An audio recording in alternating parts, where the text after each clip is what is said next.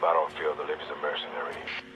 A reckless soldier known for completing the impossible mission. He has survived many wars. His presence has been felt for decades. Even today, his skill on the battlefield remains unmatched, but no one knows his name. This aged soldier has never been photographed. No survivors have witnessed his actions. His missions have never been documented. It is unclear whether these were the acts of the single man, or if you operating under the same rogue identity. When the smoke clears, all that remains are tales of the legendary, reborn ghost of the battlefield.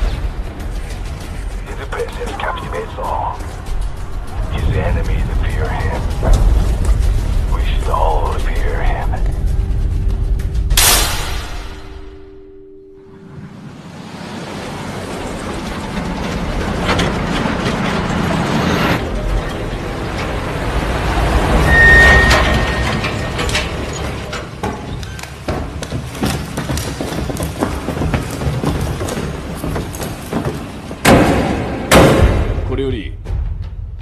ストを仮想敵とした高速制圧訓練を開始する。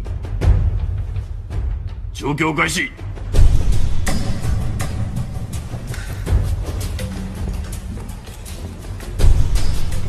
ゴーストは接近戦のプロフェッショナル。一人では勝てないものとす。作戦は部隊を最小単位に分け複数方向から同時に仕掛けろ。了解。いかに能力の高い敵でも四方から同時強襲されれば無力だタイミングを外す。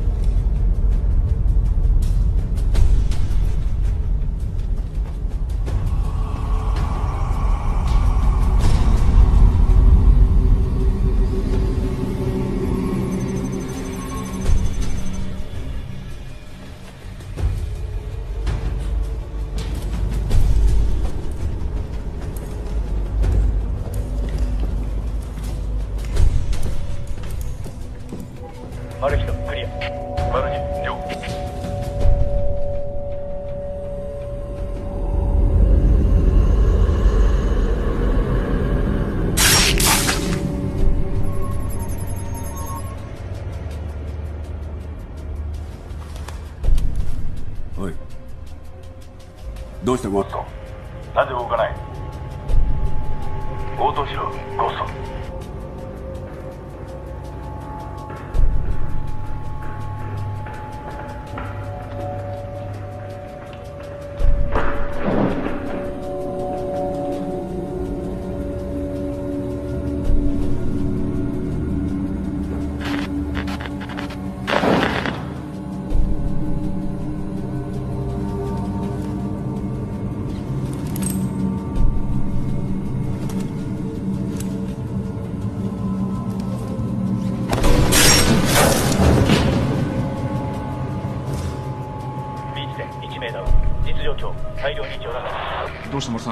状況くれ。おい。おい。なんだ。チーム3状況説明。こちらチーム3よくわかりませんバルスコマンダー。訓練中止。訓練を中止する。規模不明の敵が施設内に侵入。タイムはこれより敵の殲滅にかかる。チーム4チーム5合流して再編成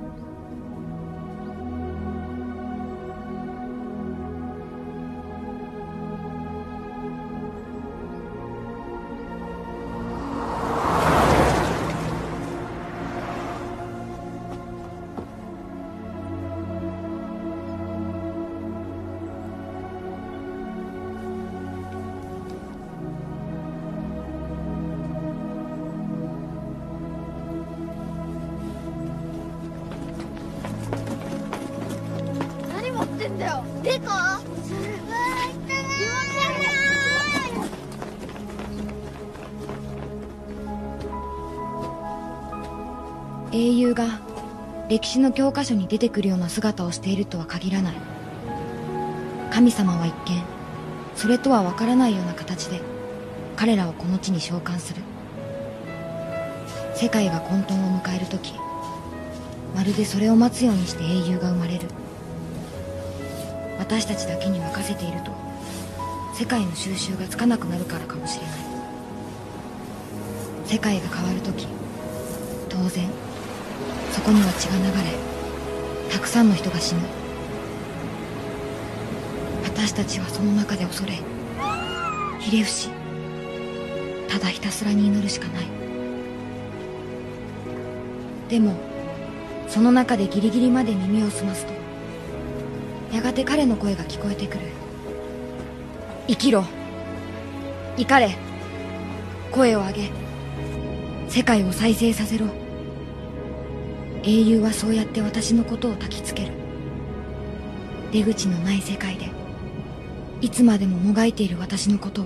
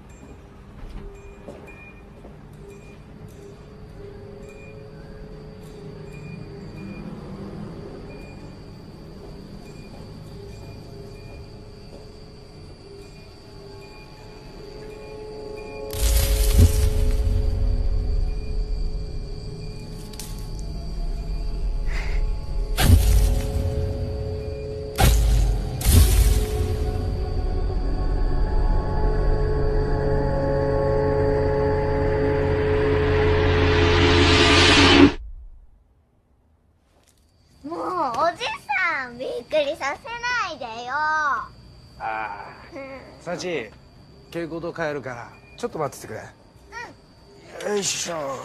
危ないよ。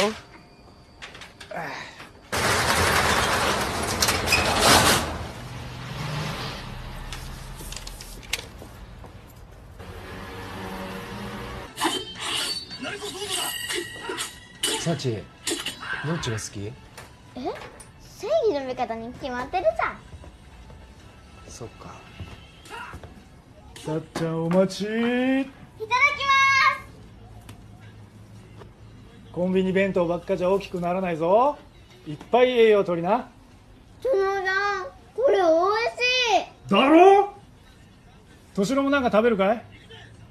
おじさんはいいの。いつもちょっとしか食べない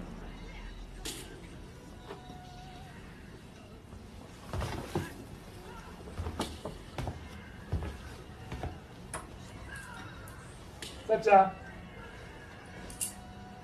見て。なお客様。失礼します。行くよ。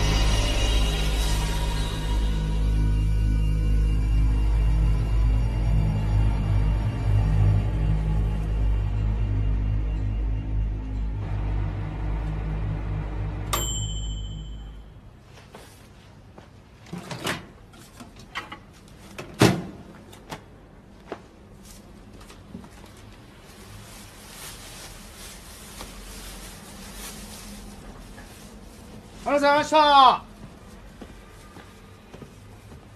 生は傷によって力を増し闇こそ正当であると知る。だから僕はあの花には何も言わないことにする。やがて来る嵐を僕が待ち望んでいることも僕の中に抑えきれない獣が住んでいることも。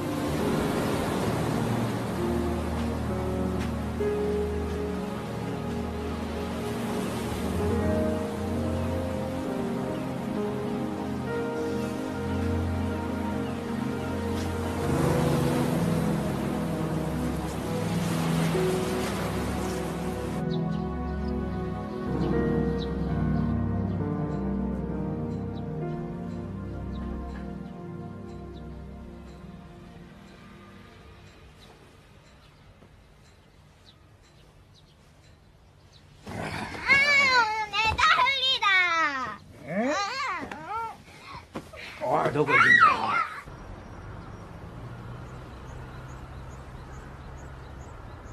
そうですか。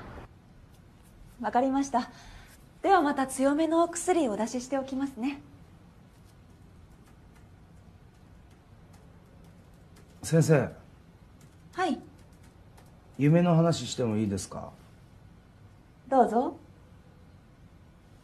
私は森の中でたくさんの人と戦いたくさんの人を殺すんです。朝起きると血の匂いが消えず手には感触が残ったままなんです。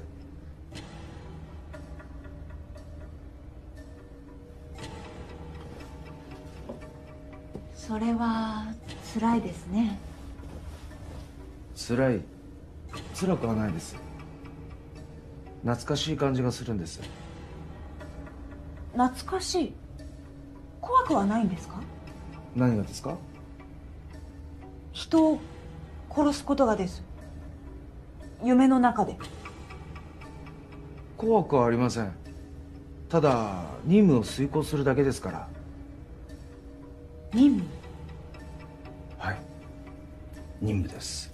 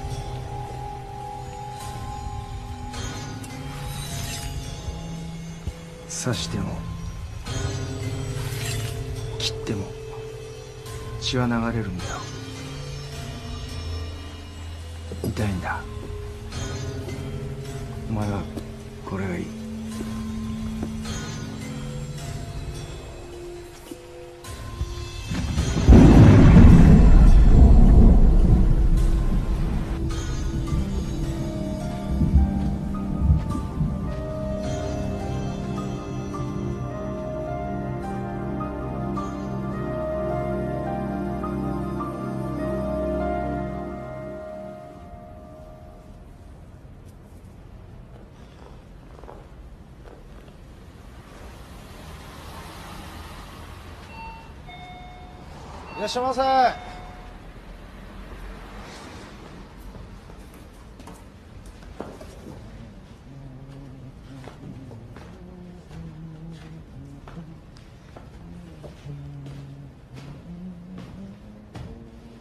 金出せ早くしろ。おい。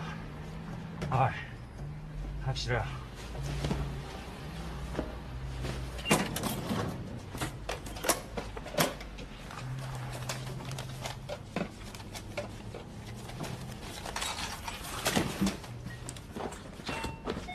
うございました。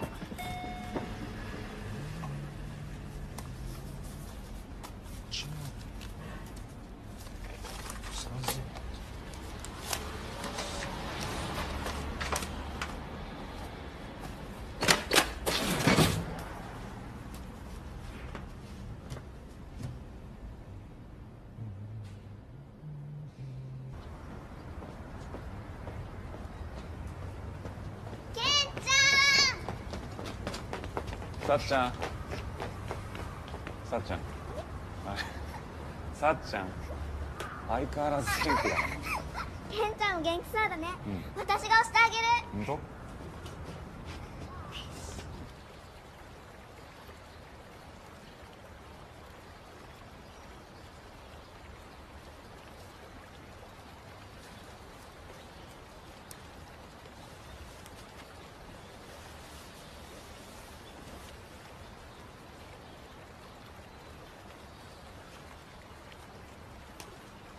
気持ちいいねさっちゃん。うんそうだね。なんかいい匂いするね。どうしたの？おいいつから幼児趣味になったんだよ。敏郎さん？好きありすぎだろ。敏郎さんこそ。俺がいなかったら敏郎さんもうこの世にいないんですからね。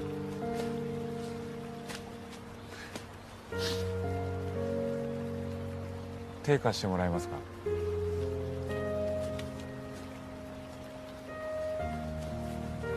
うん。なんか随分可愛らしい手おい。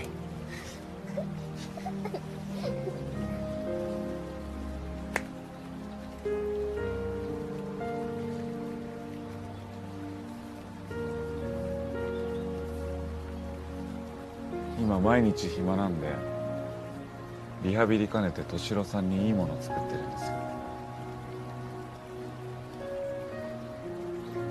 ケンジお前ゲイじゃねえよな。どうでしょう？ケンちゃんバイバイ。バイバイ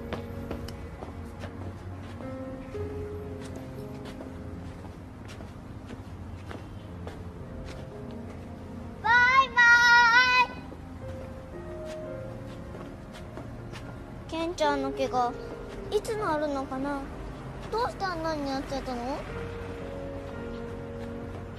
ケンジはねおじさんのためにああなったんだ。おじさんのため？うん。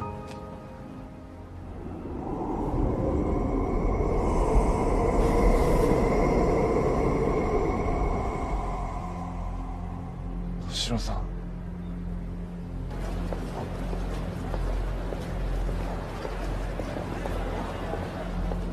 サチ何？忘れ物したから先帰っててくれ。うん分かった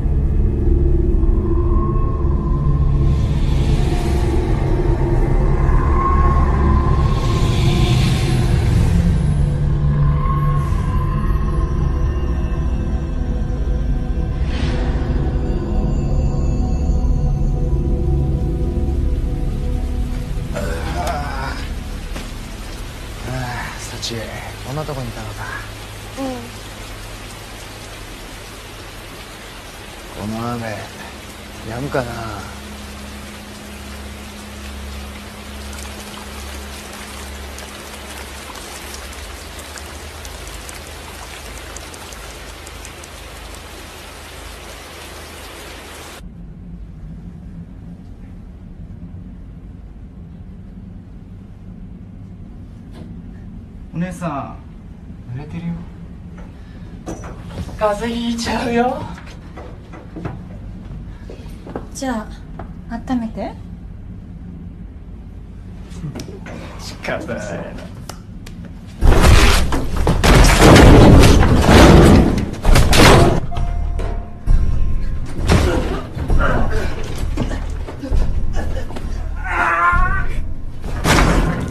ロック他1名ゴーストに殺害されました。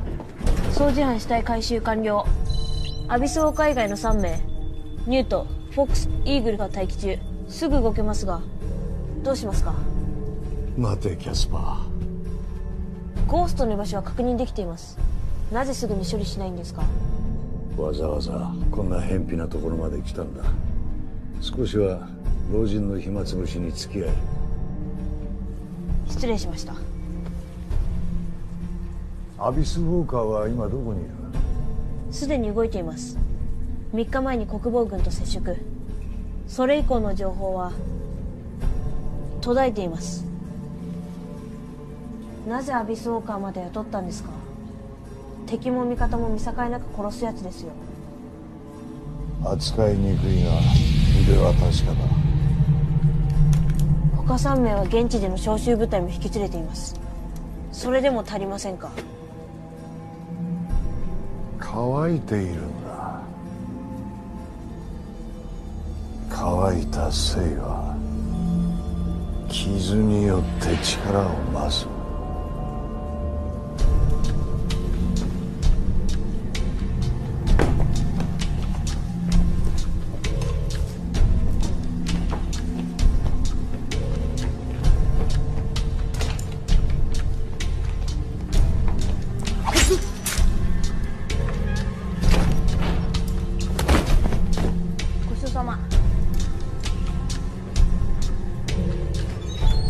先生は極限状態に身を置いてその中で生きていくことを想像できますか？と言いますと？頭に銃を突きつけられたり仲間が爆破で吹き飛んだり毎日が生きるか死ぬかの状況です。私は。正常じゃなくなる。普通はそうですよね。ええでもそうじゃない奴らもいる。自分が正常でいられるためには何らかの危険を必要とする人間もいるんです。夢の話ですが人を殺すことに黒田さんは罪悪感はないんですか？ありません。処理する瞬間は操り人形の糸を切るのと同じ。物体が崩れ落ちるだけ。そこに感情はありません処理？ただ処理する時は愛を感じます。愛？相手の鼓動を感じ体温を感じ思考を感じ全てが一体となった時優しく処理するんです。では殺されることは怖くないですか？わかりません。経験したことがないんでそうですね。じゃあちょっと想像してみましょうか。これが本物の銃で私があなたを撃とうとしたら。撃ってみてください。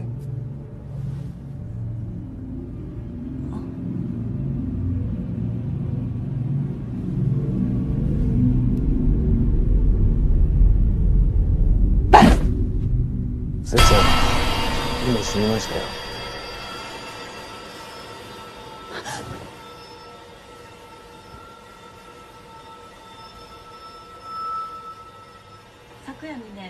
石川県加賀市箱宮町の喫茶店でこれ隣町の喫茶店だ。ひでえことしやがるな。俺こういうやつ絶対許せねえ。じゃあ角さんやっつけてよ。おう任せときな。あれ？あれ？買ったばっかなのにな。あの電気屋の親父。県外？しいな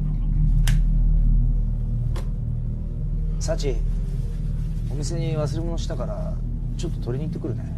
え？今から？角さん。ちょっと出かけてくるから幸とあやとりでもしていてくれよ。おう分かった。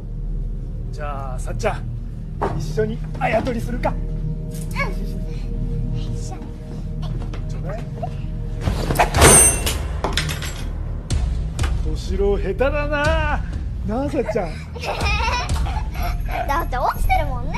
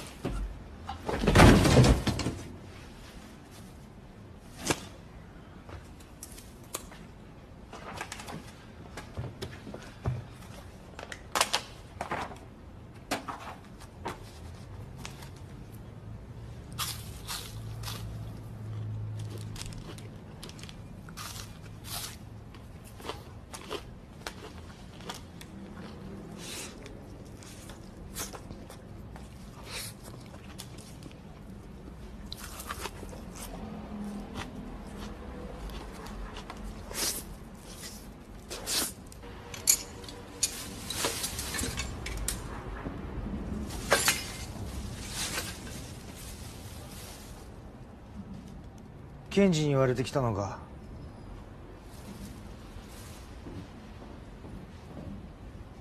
It's been a long time, 先輩さっきの連中は自分たちが掃除しておきました。じゃあついでにこっちも頼むわ。ケンジ先輩のところにファントムが現れたそうです。知ってるよ。サチが挨拶された。先輩俺たちも一緒に戦いますお前ミッション何回出たことあるんだよ。一回もないです。まあ俺面倒見ますから。逆に邪魔ですかね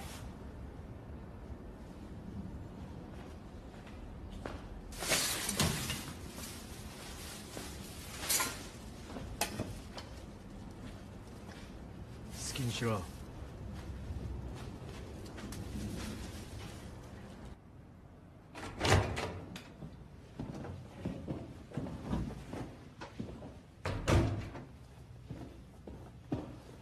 あれケンジさん。いないな。お前らしっかりやってんのか？はい。頑張ってます。頑張ってますじゃねえよ。だったらちゃんと結果見せろよ。分かってます。でもケンジさんの体がそうなったのは敏郎さんのせいです。うるせえ！本当はお前らなんかに頼みたくなかったんだ。あの人のために死んで骨になりたかった。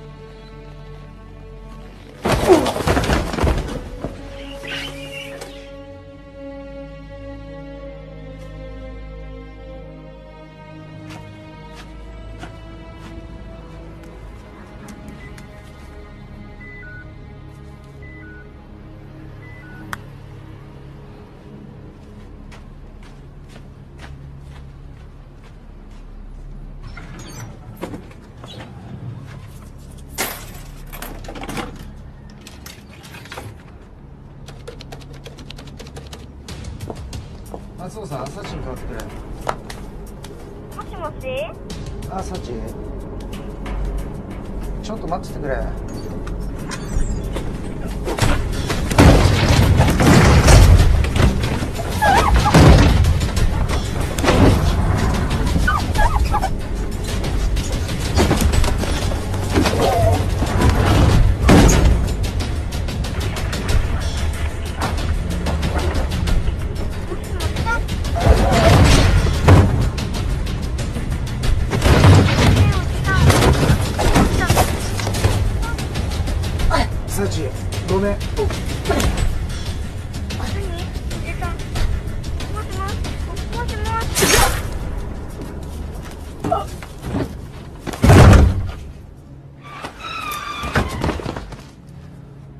チごめん。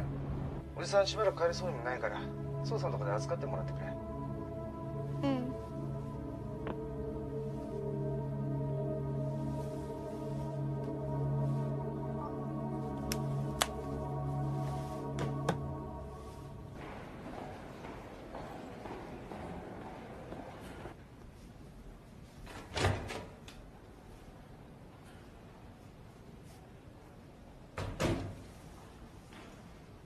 敏郎さんですか？いいタイミングです。この本好きでしたよね。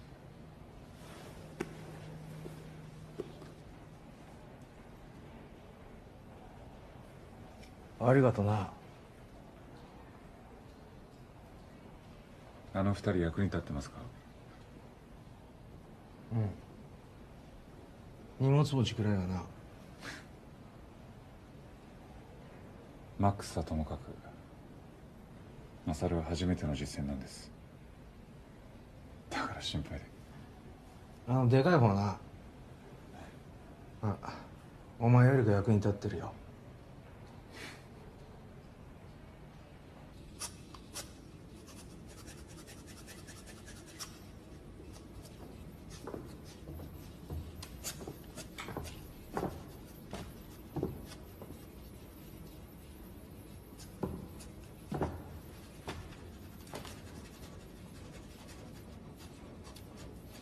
ケンジ先輩に聞いた。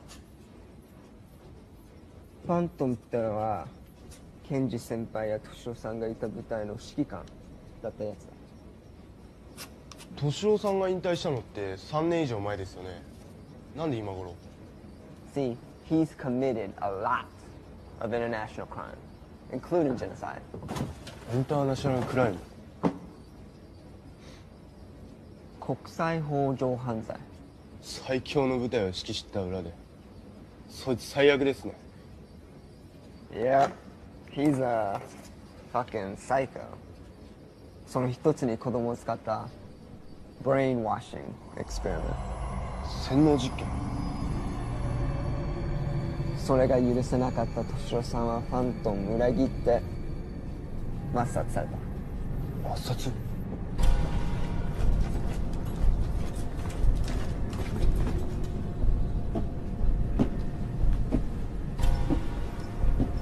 本部東側10名北側8名待機中。アビスウォーカーからです。何て言ってるか分かりません。あ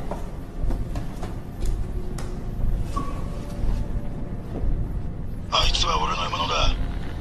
お前は今どこにいるんだ？俺の邪魔をするんじゃねあいつ本当に必要ですか？アビスはゴーストの戦い方をよーく知ってるああ見えても彼のバディだった男だ。あいつが？あらゆる意味で同じだったが行動の目的だけが違っていた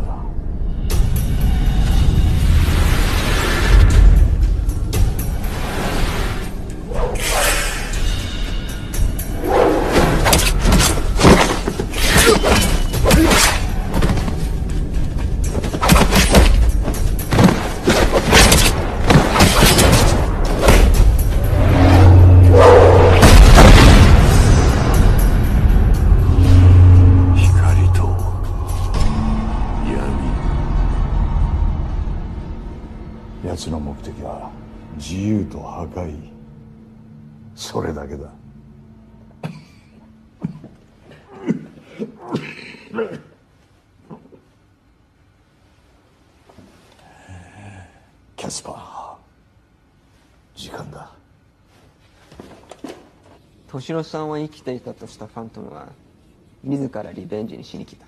なんでそんな大物がわざわざ来るんですか？それは I don't know ただ俺たちは知る必要はない。カバーするだけだ。Alright?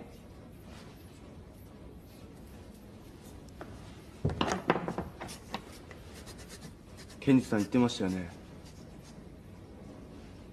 戦争は子供や機械を利用するもんじゃないって。許せねえ。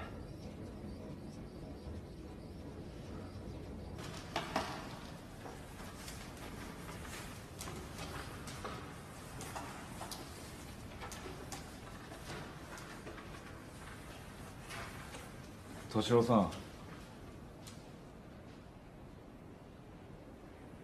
俺も連れてってくださいよ。やっぱあいつらだけじゃダメですよね。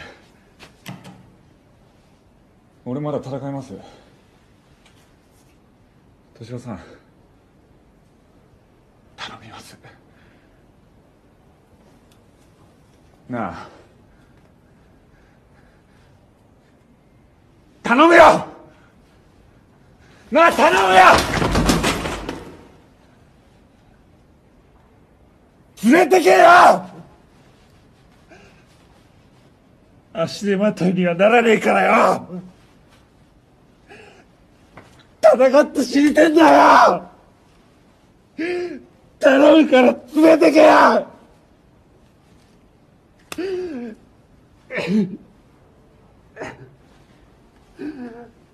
ケンジ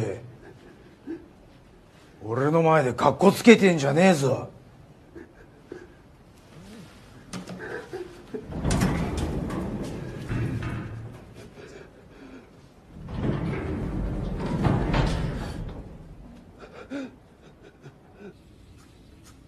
敏夫さんのコードネームってゴーストだったんですよね。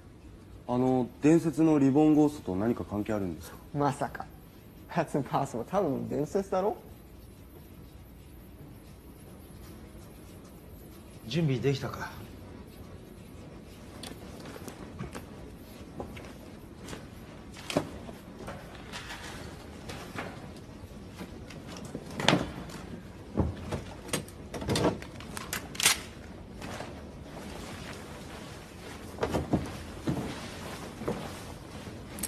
いますか？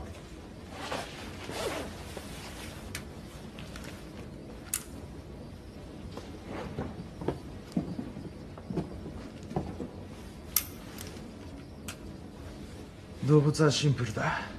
俺はこいつでいい。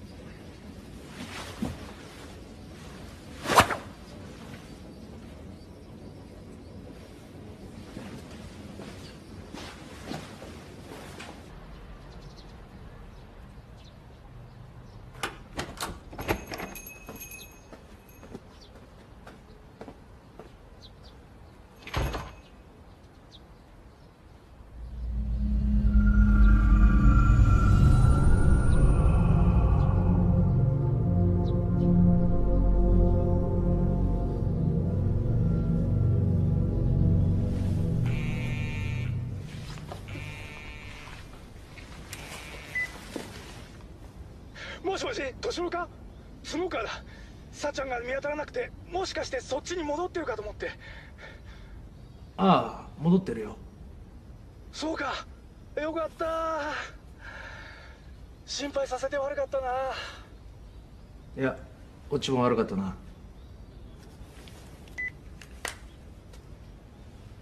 さっちゃんに何かあったんですか？まさか誘拐されたんじゃ問題ない。全て作戦だ。作戦？場所は特定できた。サチは誘拐されたんじゃない。させたんだ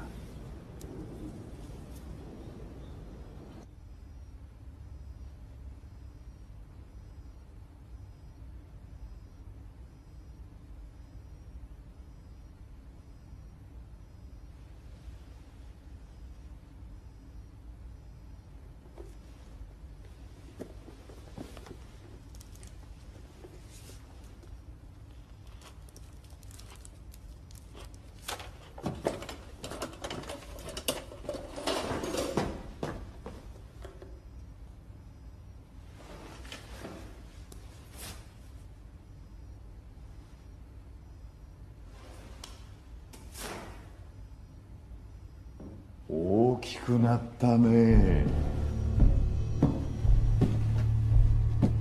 心配はいらない。私は。君のおじさんの古い友達だ。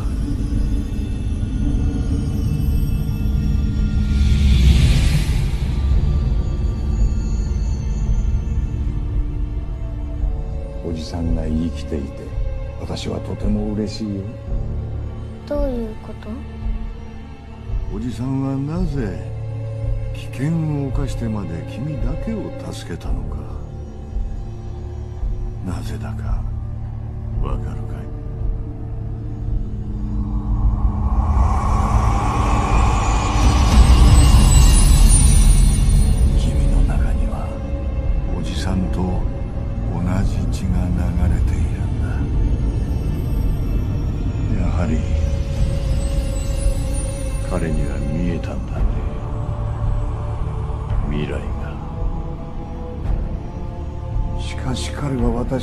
切った。生かしておくわけにはいかない。これは戦いではない。処刑だ。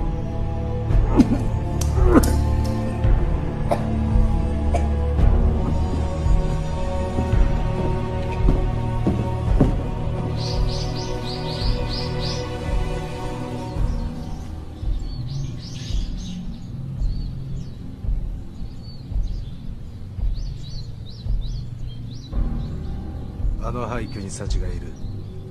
敵が確認できる位置まで3人で行動する。行くぞ。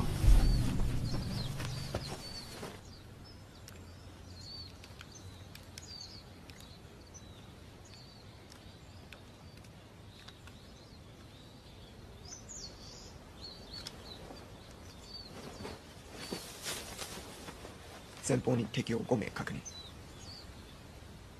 本丸はここだ俺たちはここ。一個中隊一個小隊一個招待一個招待俺がここから行っておとりになる。お前たちはツーマンセルでここから攻めろ。敵は何人いるんですか？一個招待は約30名。一個中隊約80名。Over 200? そんなに？たった3人で？俺一人で十分だ。緊張するな。撃たれても切られても動じるな。相打ち覚悟でいけ。緊張が思考をダメにする。草食動物は緊張した瞬間に食われる。肉食動物は緊張しない。俺たちは狩られに来たのか？違います。俺たちは狩るものだ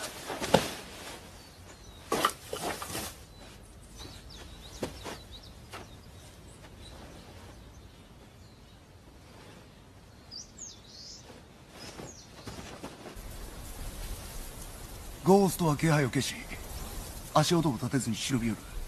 発砲は極力抑えろ。銃声は自分の居場所を教えるようなものだ。ターゲットを確実に狙える時だけ発砲を強化する。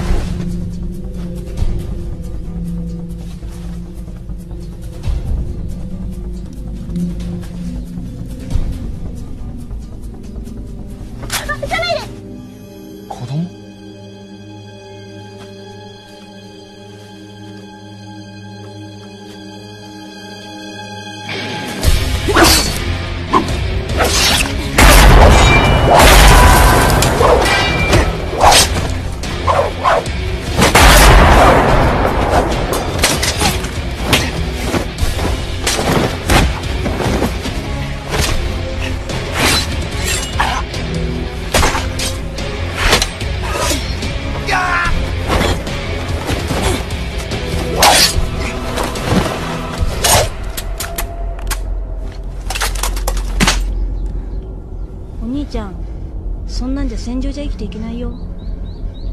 戦争はガキや機械がやるもんじゃねえんだ！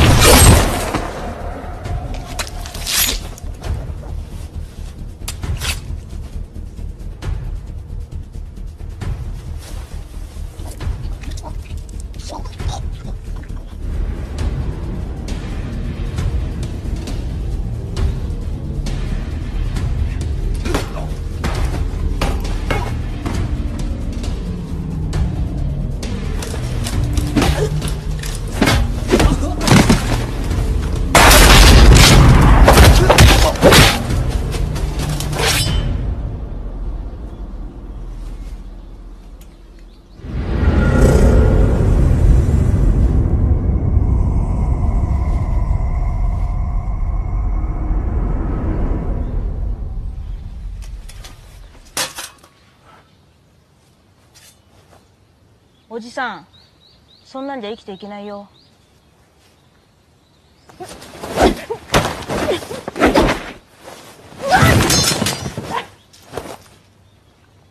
そんなんでもな生きていくんだよ。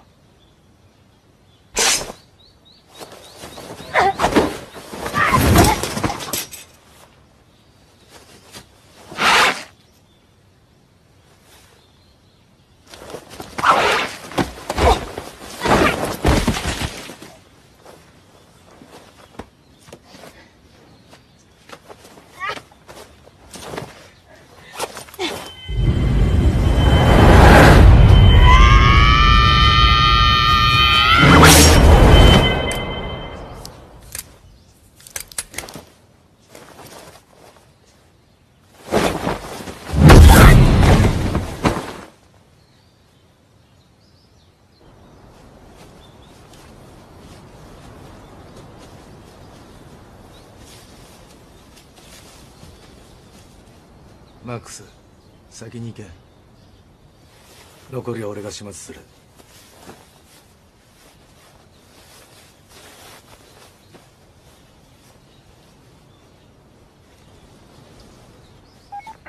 予備壊滅ポイントチャーリーエコーについては廃墟前進戦。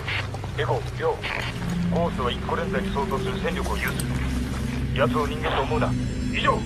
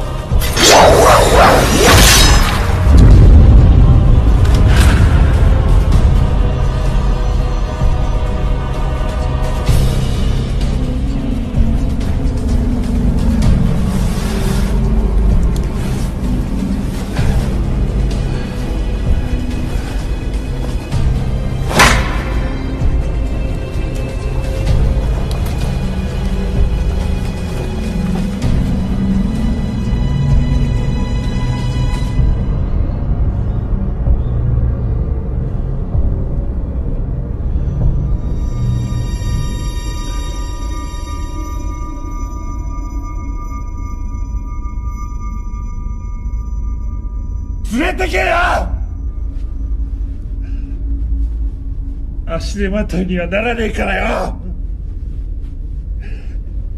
戦って死にてんだよ。頼むから連れてけ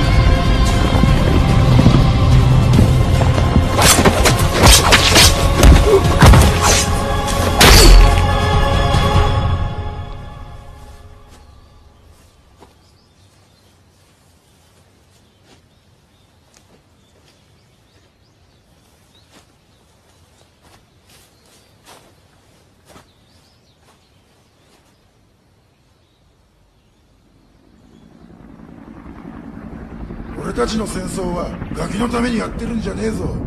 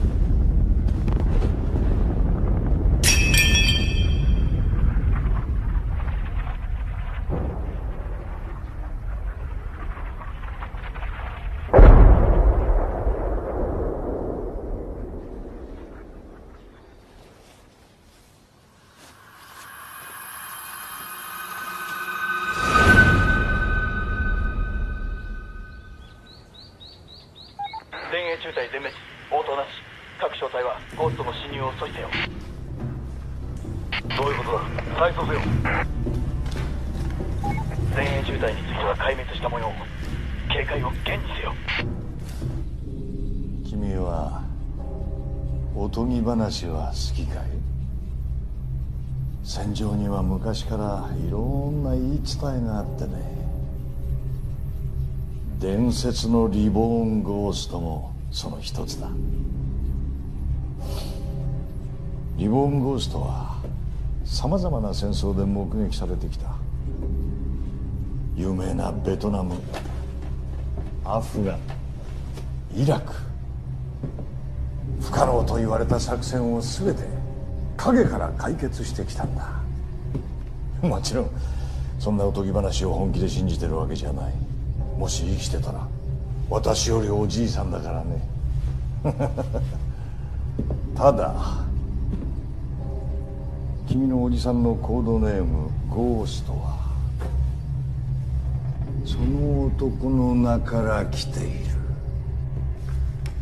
君のおじさんの戦いぶりがまるで伝説のリボーンゴーストみたいだったからね。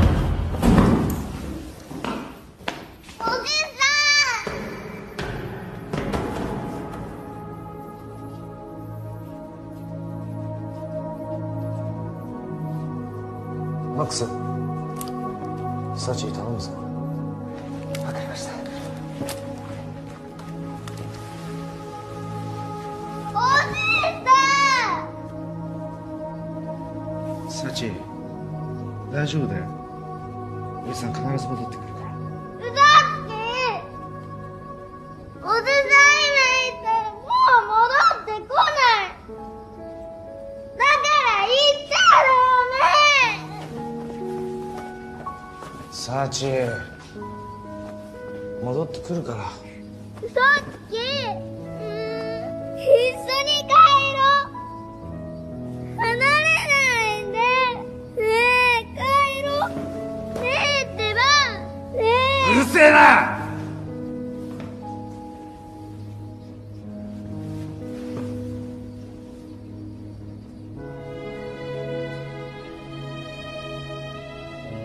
サ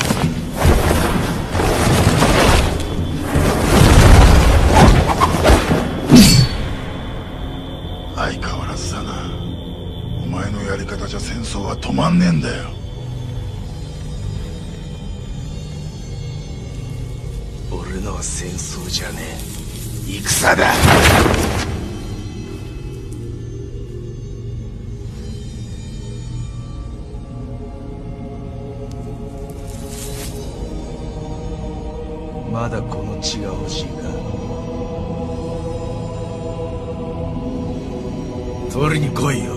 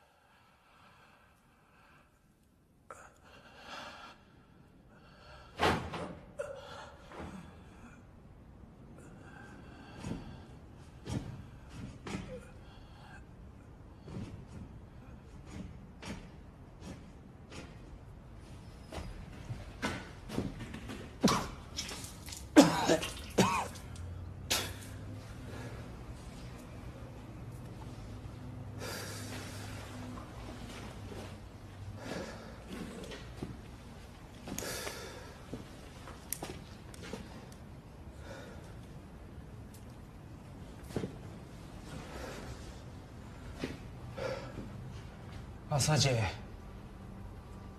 大丈夫か？おじさん？おじさんは大丈夫？今どこ？サチ。悪いな。もうちょっと待っててくれ。おじさん？おじさん？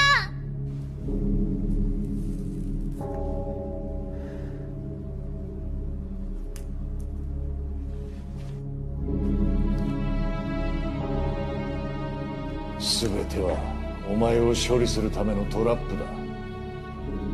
ここまで来たことは褒めてやろう。しかしその体でどうやって戦う？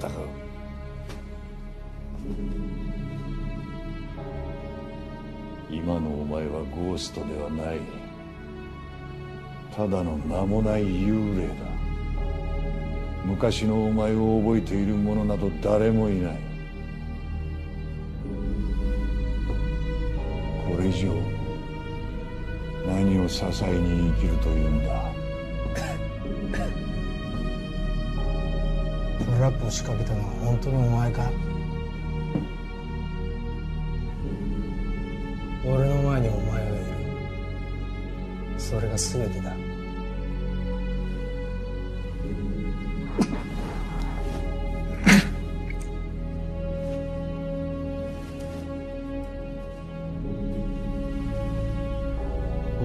がそんなに欲しいか？悪いなおっさん。俺の血はもう枯れちまってんだ。や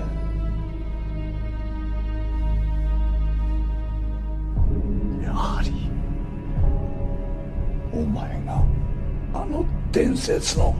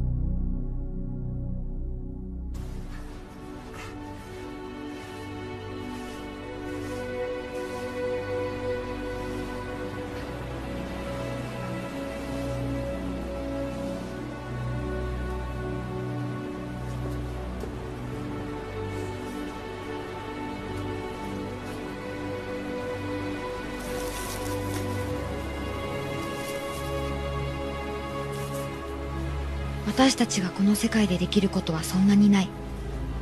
それはどんなに偉い人でも基本的には変わらない。心の余裕がなくなると私たちは自分のことしか考えなくなりそうして世の中はどんどん冷たく悲しい方向へ向かっていく。だけどそれじゃあつまらないし世界の行方も想像がつくので神様は時々そうした流れに逆らう者を振ってくるのかもしれない。その人は私たちの心にほんの小さな火をつけるとあとは任せたと言わんばかりにあっさりと言ってしまう。そして今私はもらったその火を頼りに世界の淵に立っている。新しい未来へ舵が切られていくのをこの目でちゃんと見届けるために。